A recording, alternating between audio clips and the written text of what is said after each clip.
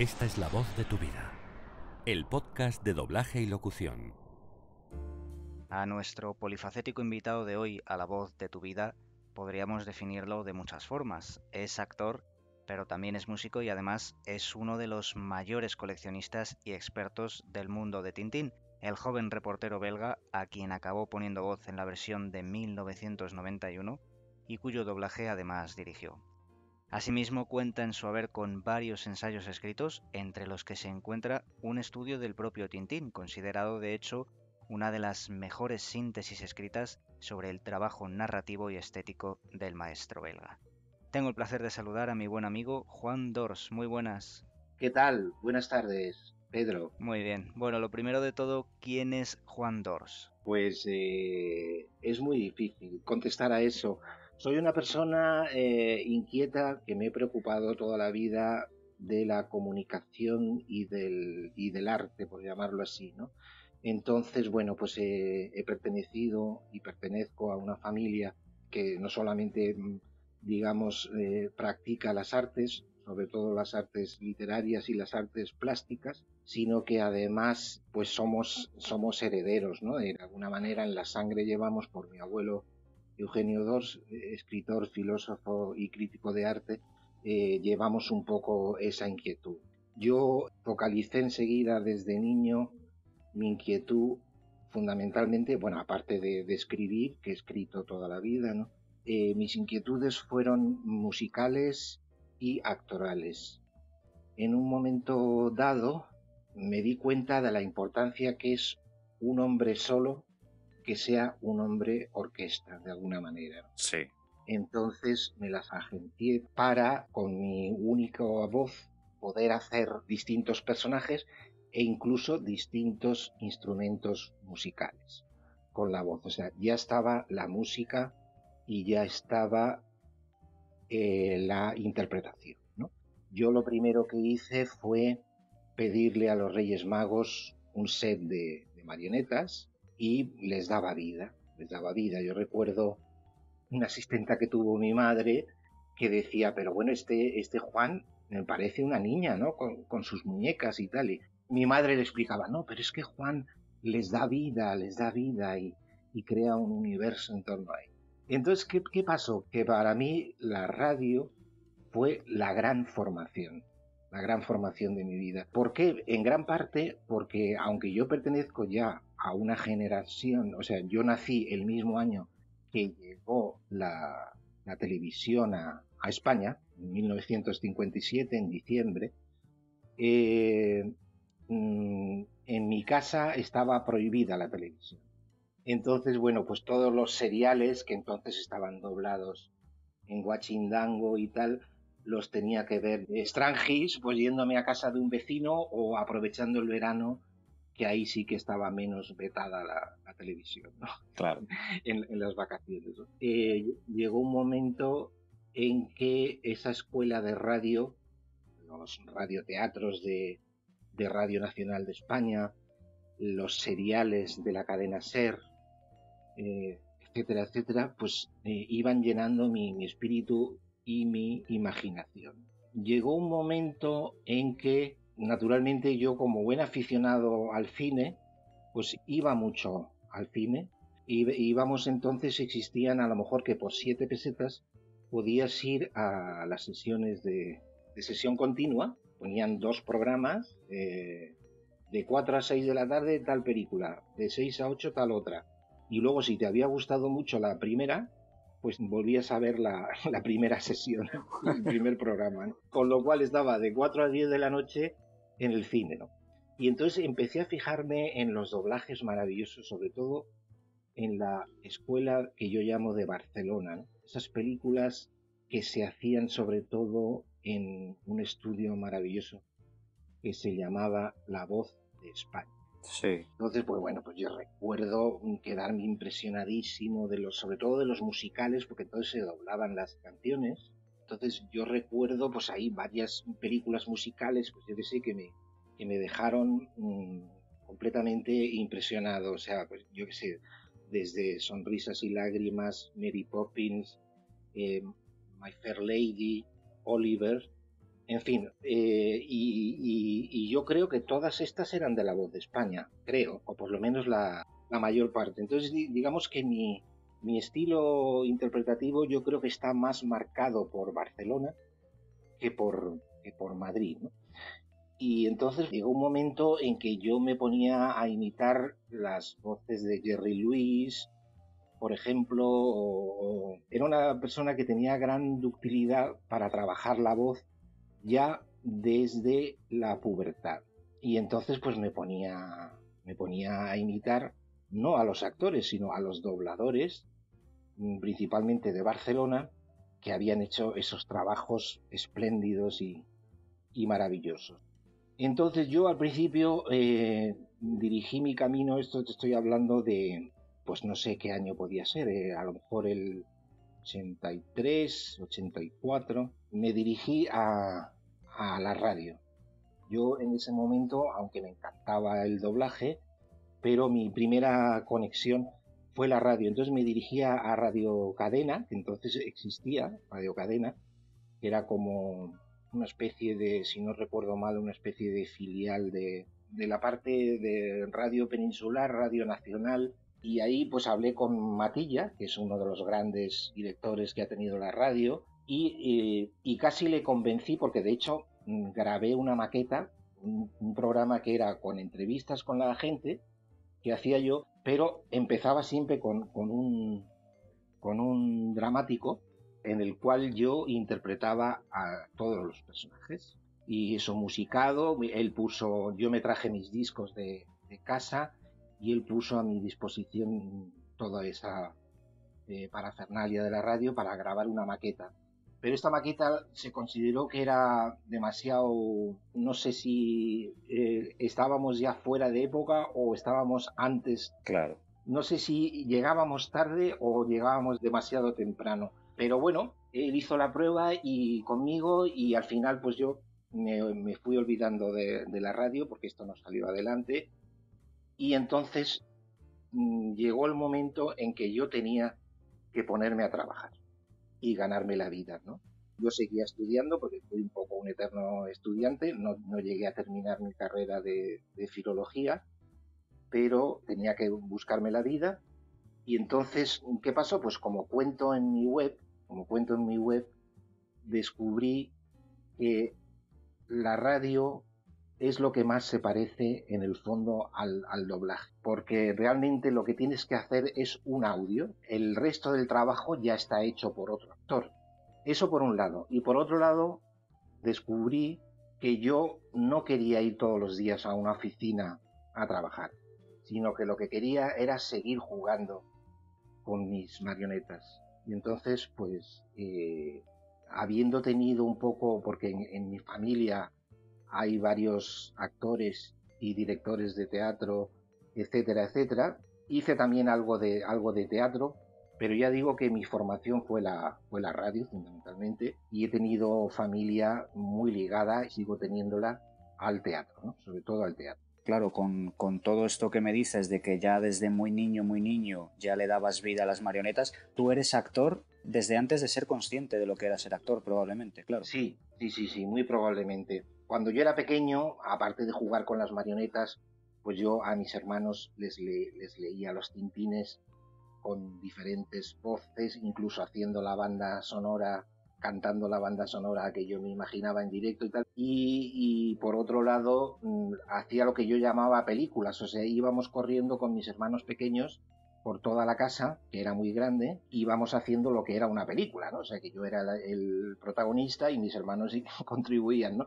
Pero de alguna manera todo eso no era consciente en mí, ¿sabes? Yo no quería ser actor, lo que quería era jugar. Claro. Y entonces me di cuenta de que en el doblaje el doblaje podía ser una forma de hacer radioteatro y una forma de seguir jugando, de seguir jugando y no enfrentarme a otro tipo de trabajo para el que yo estoy capacitado. Bueno, ¿y cómo son esos inicios como, como actor, tus primeros pasos en la profesión, Juan? Bueno, eh, fue un poquito despacio, me, me costó un poco. Mi primera convocatoria fue en el año 85 y me fui a, un estudio donde estaban dirigiendo Fernando Mateo y eh, Maripecas. Y entonces, pues bueno, creo que ni siquiera me hicieron prueba, sino que me, me Maripé me puso ya directamente un par de takes en unos dibujos animados, donde por cierto conocí a Eduardo Moreno, que todavía entonces hacía jovencitos. Eduardo Moreno, en el año 85. Bueno, el caso es que fui allí y hice esa prueba y a partir de ahí me llamaron todo esto durante el año 85, pero muy poquito, ¿no? Total, que en el, en el 86 empecé a trabajar un poco en, en varios estudios más o menos casi todos, casi todos, unos con mucha más frecuencia que, en otros, pero mm, recuerdo con mucha simpatía sobre todo la época de EXA, el, EXA antiguo que estaba en el Parque del Conde Orgaz, y eh, eh, bueno, pues estaba todos esos maestros que ya conocemos, ¿no? Eh, a mí me llamaba sobre todo Pepe Martínez Blanco, era un, director asiduo, asiduo de, EXA, ¿no? Y me dio muchas, muchas oportunidades. Pues luego también fui un poco pues, a todos los estudios que había entonces, ¿no? Telson, Rexon, etcétera, y por supuesto Sincronía, ¿no? Donde enseguida, pues eso, conocí a Alfonso Laguna, yo creo que fue el primero que, conocí en Sincronía, eh, Roberto Cuenca, etcétera, etcétera creo que Ramiro de Maestu me fue presentado por Félix Acaso, que fue muy gracioso porque me dijo, el nieto de Eugenio Dors, el nieto de Ramiro de Maestu. fue, muy graciosa la, presentación. De todas maneras, Ramiro no me llamó jamás eh, en esa primera etapa, ¿vale? Entonces los demás sí se portaron bien, sobre todo Alfonso Laguna, se portó bastante bien conmigo y me dio bastantes oportunidades y llegó un momento en el, en el 89 que era una época en la que ya se había creado Adoma y parecía que había mucho trabajo. Entonces yo recuerdo, eh, creo que fue en Technison, que yo comuniqué que me, me quería contratar en Sincronía. Porque me parecía una buena escuela, en aquel momento estaban contratados Pachi Aldeguer, Vicky Angulo, Eduardo Gutiérrez y aparte de Alfonso Laguna, claro. Y, en fin, que, me parecía una buena, una buena escuela. Yo a, Guti lo conocí en Cinearte cuando todavía no se había contratado. Fuimos a doblar un capítulo de la serie Hotel. Y mm, yo creo que poco después de eso él se contrató enseguida en sincronía y yo en cambio tardé como un año y medio o dos en, contratar. Cuando yo comuniqué, estaba comentando, cuando yo comuniqué esto en Technison, me dijeron, pero hombre, ¿cómo en este momento te, vas a contratar en sincronía? Si hay mucho trabajo y sabes que te llamamos aquí en Technison. Recuerdo que fue Alfredo Cernuda, porque Alfredo Cernuda estaba entonces en producción de, de Technison como así como de segundo de a bordo estaba Jesús Caruda, que luego fue el jefe de producción de Avaira. Y, me decían que, cómo me contrataban. Pero el caso es que yo, pues eso, que me, que me había echado novia, en fin, que mi padre me había alquilado una casa suya con precio simbólico y tal, pues eh, necesitaba, necesitaba dinero y entonces nada, pues dije, bueno, pues mira, me voy a perder otras cosas, me voy a perder otras cosas y me estoy abriendo camino mm, por un lado y cerrándomelo por otro. Pero, pero me pareció interesante, por lo menos durante un tiempo. Durante un tiempo que al final fueron siete años los que estuve. Claro. ¿Y qué recuerdos tienes de aquella etapa de tu vida? Porque sí que es cierto que Sincronía es uno de los estudios más míticos de, en España, ¿no? Pues sí, eh, yo, eh, sabéis que, que Sincronía proviene de Sevilla Films. Sí. Y es un, era un estudio con muchísima solera y donde habían en su momento estuvieron contratados, pero grandes, grandes figuras, grandes figuras del doblaje. Estuvieron contratados en Sevilla Films. Y a, mí lo que, eh, sincronía, digamos, que podía pasar de todo en sincronía. Sincronía era un estudio muy simpático yo qué sé, por ejemplo, estaba dirigiendo, no en mi época, pero sí en una época un poquito anterior a la mía, estaba dirigiendo a lo mejor Joaquín, Joaquín Escola, el padre de, de Paloma Escola, y decía, a ver, me he perdido, mañana todo el mundo a las 8 de la mañana y ese tipo de cosas, ¿no? o técnicos que se quedaban dormidos. Anécdotas divertidas tiene que haber también del bar de sincronía, en aquella época en la que los estudios tenían bar. Ah, bueno, sí, claro. Sí, en general de los estudios mm, tenían bar, por lo menos los grandes, tenían bar y anécdotas, pues hay muchísimas. Bueno, supongo que Pachi en su libro, pues contará cosas del bar de, Clemente y Ana. Sí. Pero eh, de verdad que era, era, era, era mm, muy gracioso Sincronía, pero hay una cosa que es, era maravillosa en Sincronía, que yo creo, o sea, es el único estudio que yo creo que jamás ha tenido una lista negra. Por allí pasaron todos, todo el mundo, los que empezaban, los, los clásicos. Mm, claro, estoy hablando de una época que, en fin, que el, que el, que el vídeo era reciente y que había mucho trabajo para todo el mundo, pero pero digamos que ellos no tenían, o sea, el director era el que mandaba, ¿sabes? el director hacía un reparto y habitualmente ese reparto no se discutía. Entonces, pues la gente lo que quería era trabajar con todo el mundo, trabajar con todo el mundo, ¿no? No trabajar con unos privilegiados, sino trabajar con todo el mundo. Entonces, por allí pasaron de todo, de todo, gente que era sobre todo de teatro, gente que era sobre todo de cine de imagen, y, luego ya, por supuesto, los especializados en, doblaje. Hablando de, bueno, de la etapa de sincronía, estuviste siete años eh, contratado, ¿verdad? Si no me, si no me equivoco. Sí, estuve siete años contratado. En principio, salvo error por mi parte, desde 1989, así como, no sé, abril o mayo, un poquito antes del verano, eh, me contraté y eh, y, luego pues desaparecí con el estudio, que ya no, ya no se llamaba Sincronía, se llamaba Dubbing Hispania, y, yo, juraría que fue en el año 1996. Entonces, bueno, pues en, Sincronía, a partir de, del año 91, creo que fue, empecé a dirigir esporádicamente dirigí algunas series japonesas que no quería dirigir nadie y de dibujos animados y, bueno pues eh, así poquito a poco fui entrando en la en la dirección y bueno pues de repente ocurrió una cosa mágica y es que pude unir mi, mi, principal afición que era Tintín con el, trabajo profesional de todos los días.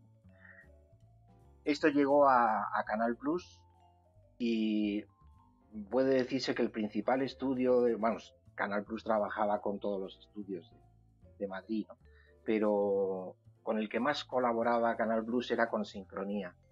Entonces, el director de, de Canal Plus, que no sé si era Juan Cueto o quién era, le enviamos una última página del país del año 88 ya sabes que la empresa Canal Plus estaba ligada en aquella época íntimamente con el país. Sí, claro. Eh, entonces, pues eso, se le envió ese artículo en donde se me, se me entrevistaba, pero no en forma de entrevista, sino como diciendo Juan dice, ¿sabes? Juan, no sé qué, ¿sabes? Ese tipo de cosas, entrevista indirecta. Y entonces, pues ahí aparecía como un auténtico especialista en Tintín. Y entonces, pues, ese, ese trabajo eh, cayó en mis manos y yo pues modestamente creo que fue aceptado. Estamos de acuerdo. Y a partir de ahí luego ya pues eh, eh, Canal Plus me dio unas cuantas cosillas ¿no? para, para dirigir. Pero bueno, el otro día es que estuve escuchando la, como puedes comprobar, estuve escuchando la entrevista con mi querida amiga y compañera Olga Velasco y contaba el tema de, la, de las traducciones, ¿no? de lo importante que son las traducciones. Y bueno, pues eso, que el tema Tintín realmente tuve muy mala suerte porque realmente eso no estaba. Por otro lado, fue un gran beneficio mm, para mí porque, vamos, rehice absolutamente el script, que no era script, y además consultaba los scripts originales que venían varias opciones, por ejemplo, pues en el Cangrejo de las Piezas de Oro con el inspector este japonés, eh, pues había varias opciones, entonces yo, yo elegía las que eran más mm, puristas ¿no? Con los álbumes de Hergé. Lo que me preocupó fue respetar el, el, el, espíritu de, de, de de Tintín, y bueno, incluso consultaba los, un diccionario de tacos del capitán Haddock para que los tacos fueran lo más variados posibles. Me, me, documenté bastante, pero vamos, que hubo que rehacer todos los tintines, cosa que me, o sea, todos los guiones, todas las traducciones, y por supuesto tuve toda la libertad del mundo también incluso en variar el script original eh, cuando me hacía falta. Fantástico. Bueno, pues aprovechando que estamos hablando de las aventuras de Tintín, para sorpresa de todos los amantes del doblaje en general, tenemos con nosotros a José Ángel Juanes. Muy buenas. Eh, yo no soy José Ángel Juanes, yo soy el capitán Haddock. ¡Capitán! muy, muy buenas. ¡Capitán Haddock! ¡Qué emoción encontrarle después de tantos Bueno. años, capitán! Bueno, Es extraordinario. eh, siempre, siempre, José Ángel, los José buenos Ángel, amigos siempre, los buenos amigos siempre terminan encontrándose. rayos y centellas, ¿no? Oye, Sí, eh, José Ángel, mil millones de bachimozos. Dime. qué, qué placer encontrarte, José Ángel, porque además es que desgraciadamente, desgraciadamente prácticamente no hemos coincidido en estos años. No digo después de terminar Tintín, pero sí eh, durante mucho tiempo no hemos coincidido. Bueno, yo es que he estado, he estado, me cogí un año sabático, ¿sabes? Sí, Y sí, ya llevo 17 años de año sabático. Eh, está bien, ¿no? Está bien. está muy bien. Sigo, está muy sigo bien. trabajando de vez en cuando. Ojalá todos pudiéramos a- hacerlo así. Otros le llaman jubilación, ¿no? Vamos a escuchar una cosita, a ver qué recuerdos os trae. ¿Qui- qui- ¿Quién es usted? Alguien a quien han embarcado a la fuerza en este maldito barco. ¡Maldito barco! ¡Maldito barco! Sepa que soy el capitán y que puedo hacer que le pongan grilletes. Gracias, acabo de liberarme de ellos. Ya he pasado bastante tiempo en sus bodegas llenas de opio. ¿Opio? ¿En mis bodegas? ¿Es que no lo sabe? ¿Pero qué se ha creído? Soy un hombre honrado. ¿Quién ha podido hacerme esto? Su querido contramaestre Alan, por ejemplo. No diga tonterías. Alan es un buen marino. Es leal. Sacrificado. Y generoso con el whisky, ¿no? Bueno, pues este es uno de los primeros takes en los que José Ángel y Juan coincidieron en la serie Las aventuras de Tintín. ¿Qué recuerdos tenéis de estos momentos o de las jornadas de doblaje de la serie? Bueno, ahora os contará José Ángel que su opinión es mucho más importante que la mía, puesto que la mía está mediatizada, pues yo fui el director y el, adaptador, ¿no? Para mí fue eh, extraordinario, extraordinario encontrarme con un José Ángel, pues bueno, que al principio venía dispuesto como a hacer unos dibujos animados y yo le dije, no José Ángel, vas a hacer un personaje como si fuera tu, tu vecino, como si fueras tú mismo, ¿no?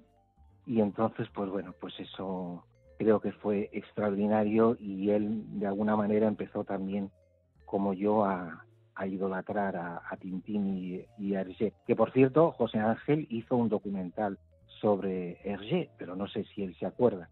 No, ya, de esa- ya mira, de tantos documentales ya no me acuerdo de, no me acuerdo de todos.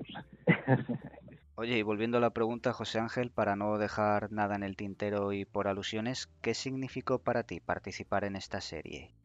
Pues eh, lo primero una sorpresa porque eh, yo no he sido poco aficionado a los cómics. Bueno, era aficionado cuando era niño, pues leía El Cazador Antifaz y Roberto Alcázar y Pedrín y hazañas bélicas y esas cosas, pero claro, te estoy hablando de la prehistoria, ¿no? Y nunca había sido precisamente muy, muy aficionado a Tintín, algo había visto y cuando empecé el doblaje con, con Juan, él de repente me descubrió un mundo nuevo. Eh, Claro, eh, porque es que ahora que no nos oye, eh, Juan, Juan Dors sabe de Tintín más que nadie. Y yo te diría que Juan Dors, estoy convencido de que sabe de Tintín mucho más que Hergé, porque Hergé se quedó cuando con Tintín cuando él se murió, cuando Hergé se murió, pero es que después Tintín ha seguido vivo. Y eso que Her- Hergé no llegó a conocer, eh, Juan lo domina a la perfección. Entonces yo me encontré con aquel señor que decía cosas, eh, aquel capitán Jado que decía cosas extrañas como Bachibozuk y cosas por el estilo, pero claro, me sorprendió que Juan me dijera, no, no, es que mira, según el diccionario de palabrotas de, de Haddock, y, es que lo había. Entonces eh, me puso en contacto con el personaje y el personaje me fascinó porque es un magnífico cascarrabias eh, pero es muy vulnerable, tiene una ternura enorme. La, relación con Tintín es buenísima y luego aparte de eso es un alma un alma muy sensible, el capitán Haddock, que en cuanto le pasa cualquier cosa, pues es que se viene abajo y es que se le saltan las lágrimas. Entonces ese esa distonía entre entre el, el, ogro y el, y el corazón sensible era lo más divertido de doblar al, al, capitán Haddock. Yo lo pasé muy, muy bien haciendo aquella serie y disfruté. Y desde aquel momento me hice aficionado. no, no me hice tintinólogo porque eso ya tiene, ya tiene título, ¿no? Pero sí, sí, me lo disfruté mucho en aquella serie, lo pasé muy bien. yo recuerdo que fui a, a tu casa dos o tres veces que te iba llevando las, las grabaciones que eran muy malas, como se puede uno imaginar, pero luego sé que tú por tu cuenta te compraste los DVDs ya en mejor estado. Sí, sí, sí, sí, no, me, compré la colección completa y la, ahí la mm, tengo. Hay una cosa además extraordinaria, claro, lógicamente si tú hubieras conocido los originales de los álbumes ¿no? de Berger, pues realmente te hubieras encontrado con un Capitán Haddock eh, extraordinario mejor que el de las el de la serie por supuesto mejor que el de la serie de Elipse que es como se llamaba la, productora y, el capitán Haddock bueno por esto de que nos domina desde los años 80 90 de lo políticamente correcto etcétera etcétera le hicieron perder una serie de leitmotivs como es la de, el de la borrachera, el del whisky y tal. Y yo lo intenté dentro de que, claro, lógicamente una imagen tú no la puedes traicionar pero intenté en el guion, hice una, una, una labor bueno, leonina ¿no? de, de, de, adaptación. Eh, intenté que el capitán volviera un poco a su gusto por el whisky en estas adaptaciones. ¿no? Yo quisiera, Pedro, porque sé que lo vamos a tener que dejar ya enseguida, pero quisiera hacer una alusión a las personas fallecidas de esta serie, que por desgracia son muchas.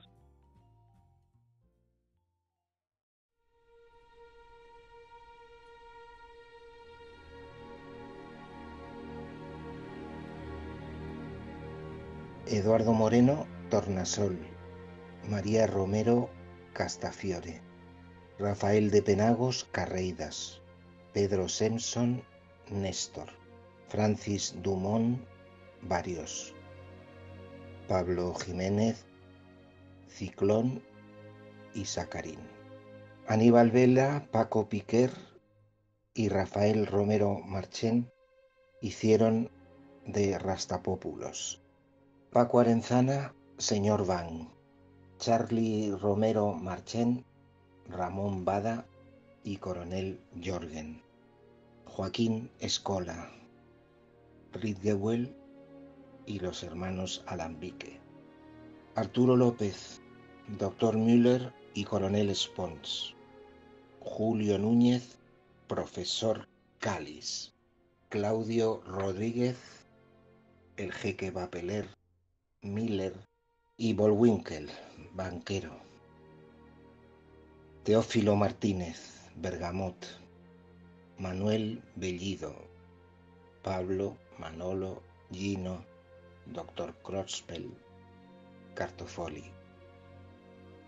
Ramón Reparaz Padre, Danitov. Un saludo a todos ellos, estén donde estén, que seguro que están en el cielo.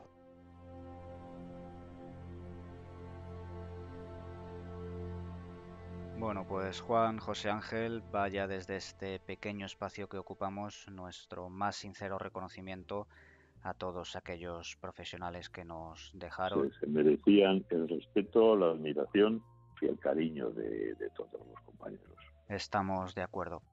Oye, José Ángel, volviendo a la serie, ¿cómo era ser dirigido por Juan? Él era minucioso y lo sigue siendo. Eh, detallista. Tenía muy claro en la cabeza lo que eh, lo que había que hacer ahí. Porque ya te digo que yo creo que eh, no me atrevo a decir que, que Juan haya sido una reencarnación de Tintín o algo así, pero vamos, que ahí hay un, un contubernio entre los dos muy...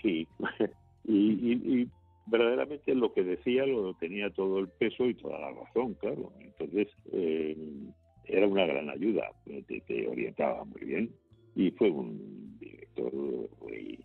Eh, fue muy, muy placentero trabajar con él.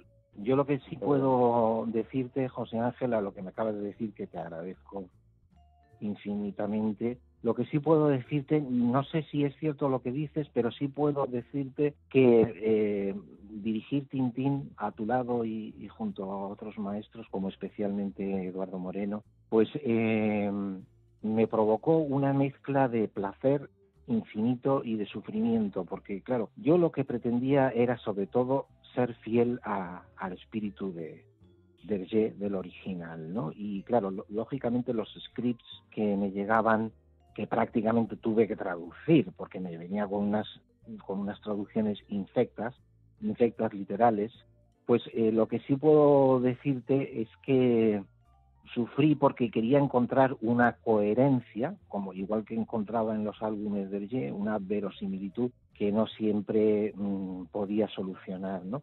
Eso por un lado.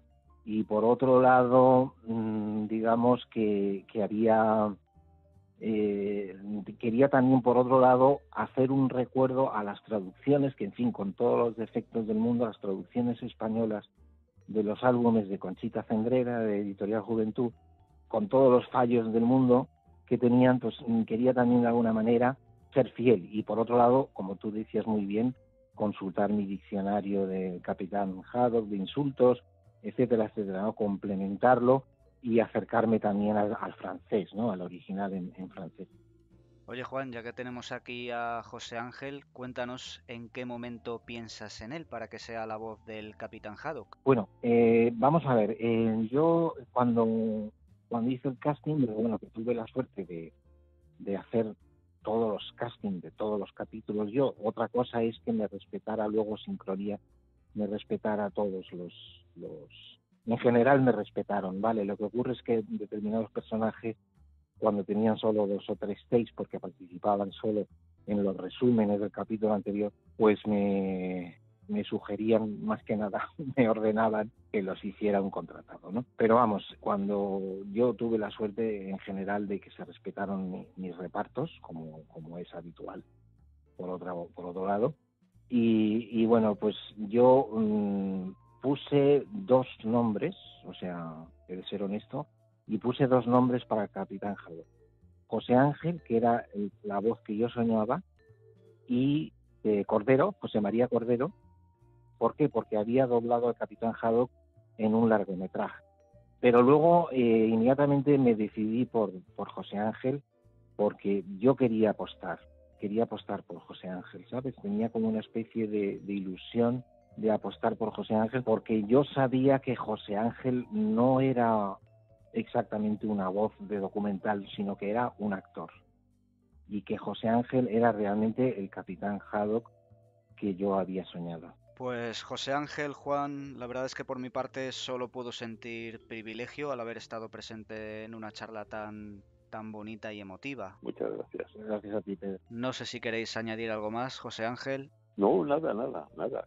Darle un, abrazo a Juan, que hace mucho tiempo ciertamente que no nos vemos y bueno, pues eh, ya lo remediaremos en su museo de Tintín. Y el capitán naturalmente se tomará un whisky. lo mismo digo y, y eso, sobre todo reivindicar la, la emoción, ¿no? Reivindicar la emoción que además, bueno, pues a nosotros, aunque hayamos compartido tantas horas de atril, en el fondo lo, lo que nos une es, es la voz. Entonces, bueno, pues aunque sea a través de un teléfono, es, es una maravilla, es una maravilla volver a estar con mi querido Capitán Haddock y con mi querido arriba y abajo, etcétera, etcétera. etcétera, etcétera. Vale. Muchas cosas, son muchos años. Son Un muchos abrazo, años. un abrazo. Un abrazo. Pedro. Un abrazo, un abrazo muy fuerte a los dos. Muchísimas gracias por estar. Bueno, pues Juan, terminada la intervención de José Ángel, cuéntanos qué hiciste. Entiendo que, que Las aventuras de Tintín es tu obra maestra, pero cuéntanos qué proyectos dirigiste o, o dónde te inmiscuiste a posteriori. La verdad es que yo, de los recuerdos más bonitos que tengo de mi vida, están precisamente relacionados con la serie Elipse y con mi libro sobre Tintín. He recibido muchas cartas, muchos correos electrónicos, muchos saludos de personas que vienen a saludarme precisamente por el recuerdo de, Tintín, de la serie y por, el, y por mi libro. ¿no? Entonces lo considero un verdadero privilegio. Eh, es uno de esos regalos que te da la vida. Después, en sincronía, he tenido algunos otros regalos, digamos, muy de pasada, un doblaje que fue bastante revolucionario. Era, era la época en que todavía no estaba tan instalado el asunto de lo políticamente correcto sí. en, en España, pero que ya en Estados Unidos, por supuesto, se hablaba de lo políticamente correcto.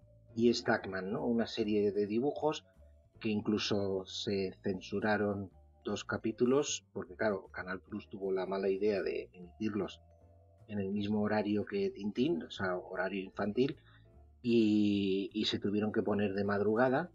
Eh, esa serie, hablando, volviendo al tema de las traducciones, recuerdas que te he comentado antes que la traducción de Tintín era infecta y que hubo que empezar desde cero. Sí. Eh, en, en, este caso tuve la suerte de colaborar con, con un traductor que se llama Soldevila, que es maravilloso. Era una serie underground, cultural, que, que fue fantástico y que, pero que me dio un trabajo de, porque claro, aunque la traducción estaba fenomenal y el traductor con el que incluso tuve trato personal y estuve en su casa varias veces, eh, y a veces no por temas de doblaje, o sea que era un amigo, eh, realmente eh, pues su traducción era, impecable, pero claro, había que adaptar todo esto a una velocidad increíble, diálogos mmm, súper largos, en fin, o sea que tuve que contratar a gente realmente que se las sabía todas, ¿sabes? Que era capaz de decir parrafadas a toda velocidad, y encima como el español es siempre más largo que el inglés, pues bueno, en fin, que era un poco para... A mí me, me decía, recuerdo, antes hablábamos de, de, la mujer de Clemente, el del bar, que me decía, Juan, tú eres un gran director, pero los actores se quejan mucho porque les metes más texto todavía que, que en el original. y yo decía, ay, ay, Ana, me parece que se llamaba Ana, ay, Ana, si, si yo te contara, o sea, es que, bueno, en fin, que, que, en fin, que el trabajo, porque una cosa que yo antes no te he contado, Pedro, que ha sido un poco uno de mis sufrimientos en el doblaje, es que, digamos, yo, igual que mi escuela formativa fue un poco la escuela de Barcelona, como os he contado a través de la voz de España y todo esto, sí. también mi forma de trabajar yo creo que es un poco más catalana, no sé si será por mi sangre de origen. ¿Por qué lo digo? Porque en fin, en Barcelona tienen un director artístico del estudio, tienen ayudante de dirección y de alguna manera eh, interviene, el director interviene en todos los procesos.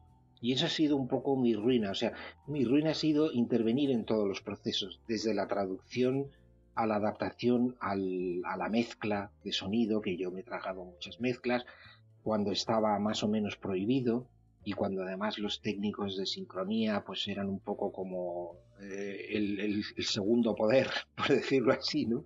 De sincronía y tal, pues esto, ese es un poco el calvario que yo sufrí y, y bueno, por el que también he pagado las consecuencias. Yo incluso pues he llegado a hablar con los clientes, cosa que es algo que no está permitido en principio, ¿sabes?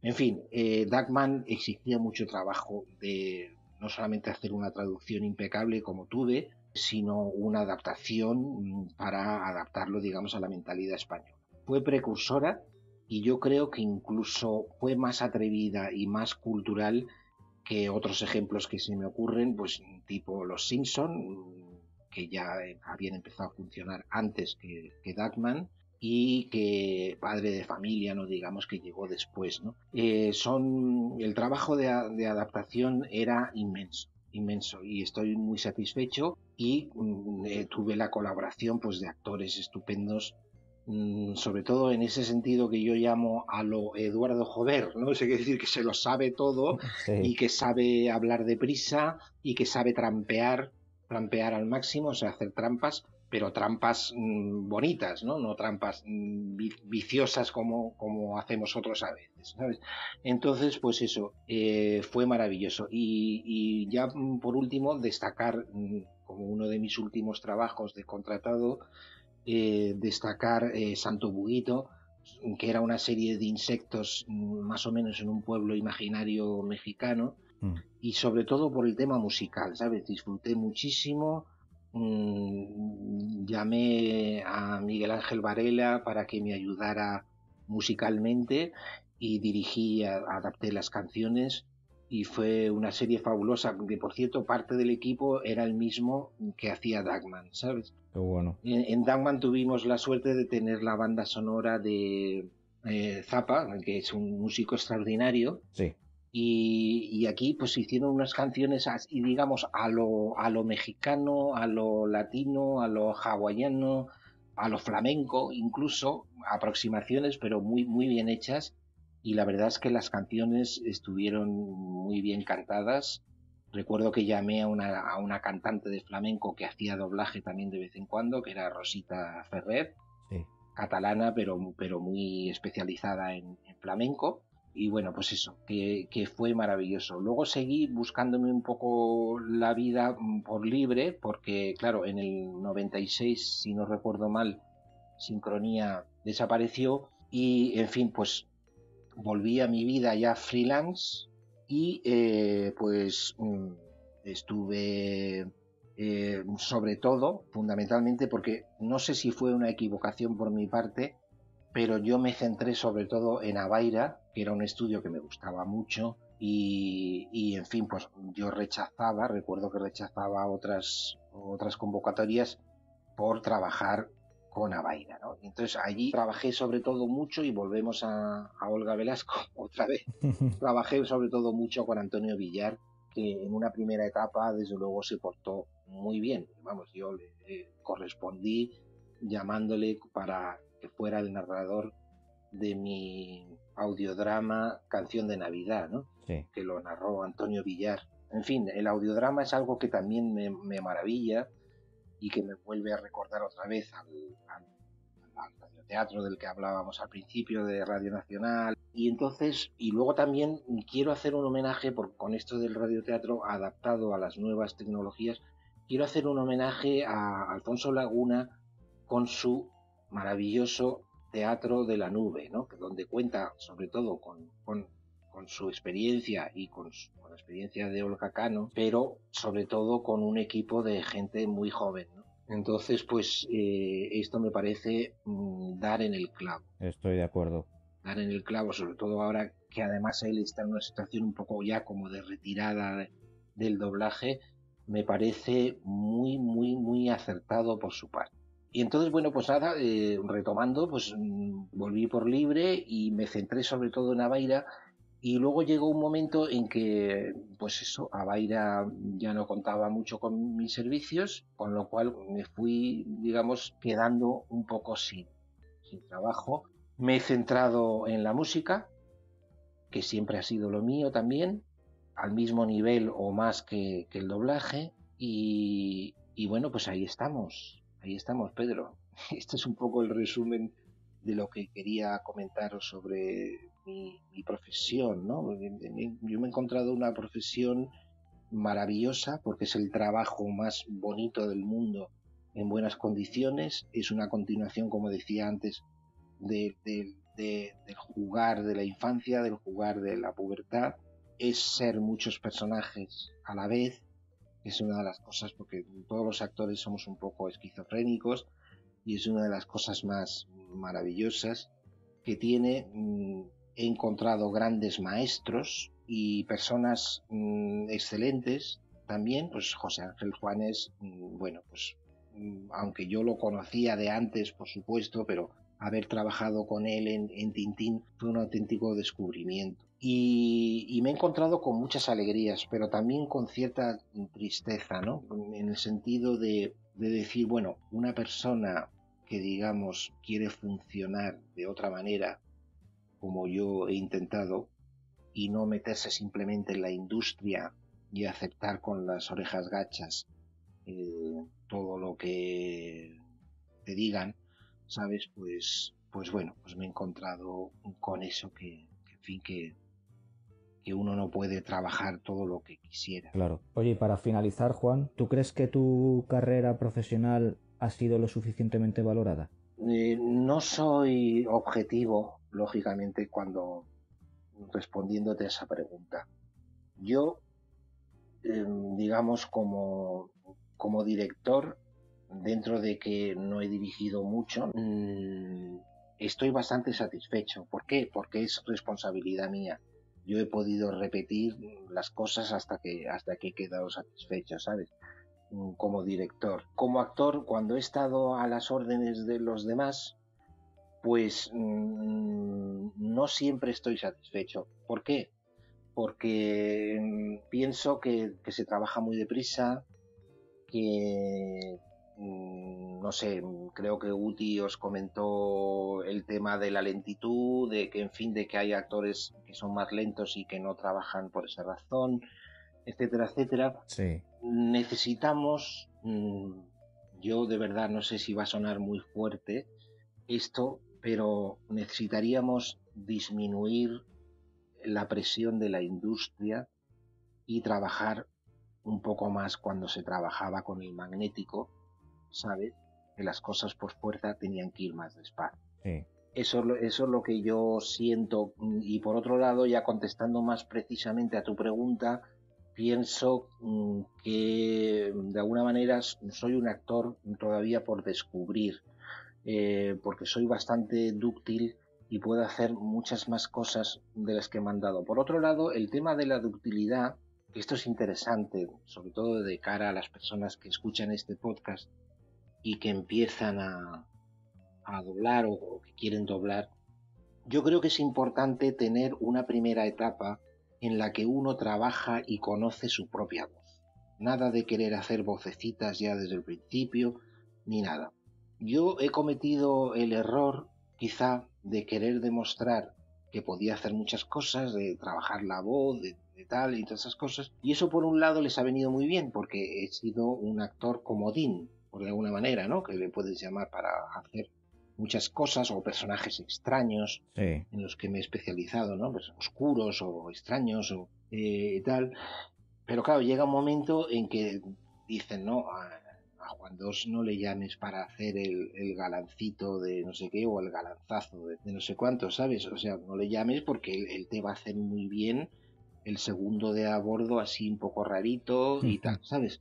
Entonces, yo creo que es mejor trabajar con tu voz y conocer las posibilidades de tu voz, de tu timbre, y luego ya, ya llegar a lo otro, ¿sabes? Ya en el momento en que tú tienes, digamos, un cierto poder, una cierta categoría, un estatus, un prestigio de, haber trabajado con tu voz, saber cuál es tu, sitio, entonces ya puedes empezar a hacer de todo. ¿Sabes? Que es un poco lo que yo creo, creo que le pasó un poco a Camilo García, ¿no? De, Barcelona. Camilo García, pues siempre ha trabajado más o menos con su voz, pero puede hacer personajes completamente distintos y en un momento dado, pues empieza a trabajarlos de otra manera, ¿sabes? Claro y el hecho de que yo sea un actor bastante dúctil puede ser un pequeño drama. Esos personajes oscuros o más o menos trabiliarios, tipos, etcétera, que antes comenté, no solo me evitó hacer más protagonistas, sino que me impidió conocer mi verdadera voz. De todas maneras, yo le debo grandes momentos de alegría a este trabajo y pesa más la alegría que los que los sinsabores, ¿sabes? Eso está claro. Pero todavía estoy estoy un poquito más, eh, fíjate, con más de 60 años que tengo ya, creo que todavía estoy un poco por descubrir, ¿sabes? Todavía estoy un poco por descubrir. Dicen que nunca es tarde si la dicha es buena, así que ojalá sea así. Juan Dors, por mi parte ha sido un auténtico placer tenerte aquí en el podcast de La Voz de tu Vida. Te tengo que dar las gracias por aceptar la entrevista y gracias también a José Ángel Juanes por haber hecho esta pequeña intervención. Me parece que ha quedado una entrevista bastante emotiva y espero que por lo menos nuestros oyentes puedan decir lo mismo de nosotros. Así que Juan, por mi parte, muchísimas gracias y te mando un fuerte abrazo. Bueno, Pedro, pues un abrazo enorme para ti y un abrazo para mi querido capitán Jado, José Ángel.